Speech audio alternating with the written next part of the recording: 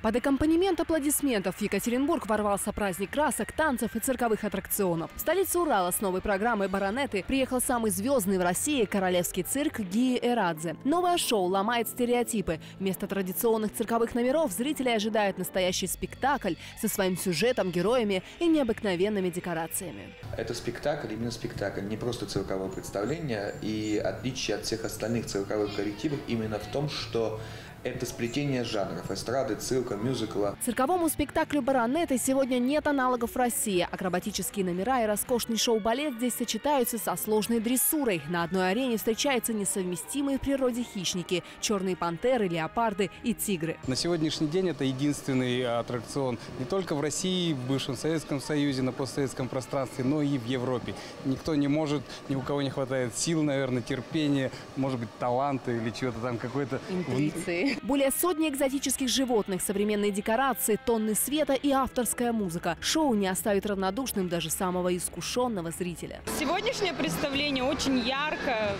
Костюмы, декорации, все настолько подсвечивается, очень восторге мы сами, взрослые и дочка. Аншлаг на премьере и овации в финале. Грандиозное цирковое шоу «Баронеты» в Екатеринбурге стартовало с успехом. Стать частью цирковой феерии сегодня может каждый. Представление королевского цирка в столице Урала продлятся с 19 марта по 1 мая.